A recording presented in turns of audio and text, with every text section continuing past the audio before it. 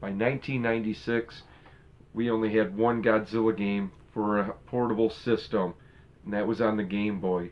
It was not so good. You play as Godzilla, finding your son, you know, you punch enemies, you climb vines and break bricks. That's a horrible game. It was a puzzle game. But look at the artwork on the cover of the box. Mm-hmm. Looks badass. You'd expect that. MGA came out with some handheld systems. You know, of course I grabbed one. I wanted to check it out. I wanted to play Godzilla on the go. So does it hold up after all this time? Let's check it out. Right away you're annoyed. You can't even play the game without seeing the screen. You gotta take off this stupid thing. You know, pop it off, just put it up here, you're good to go. Oh shit, well you can't even see the score now. And I got it stuck. Son of a bitch. Come on. Get off there. Ugh.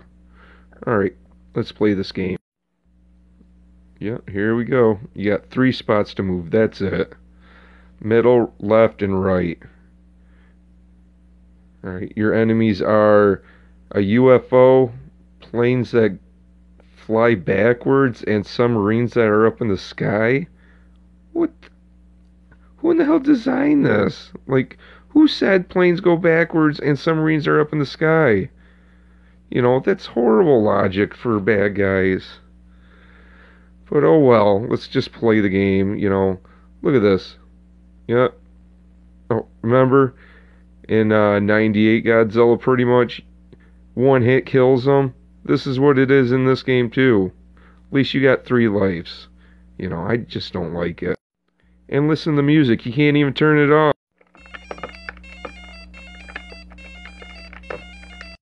That's seriously the whole time you're playing. There's two more just like it, but it's the exact same game, except for one's the 98 Godzilla. GA's Godzilla King of the Monsters worth picking up today? Oh, hell no. It's a horrible game.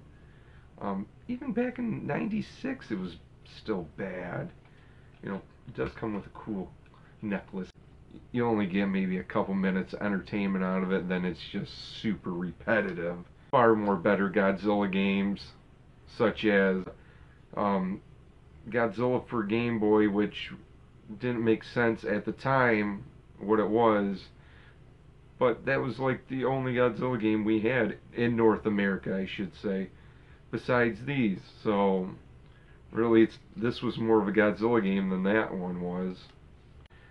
I'm Willzilla85. You know, let me know down in the comments. Do you remember playing these? Do you have any of these? Do you still play them? Uh, like always, like, share, comment, and subscribe. Till next time, guys. See ya.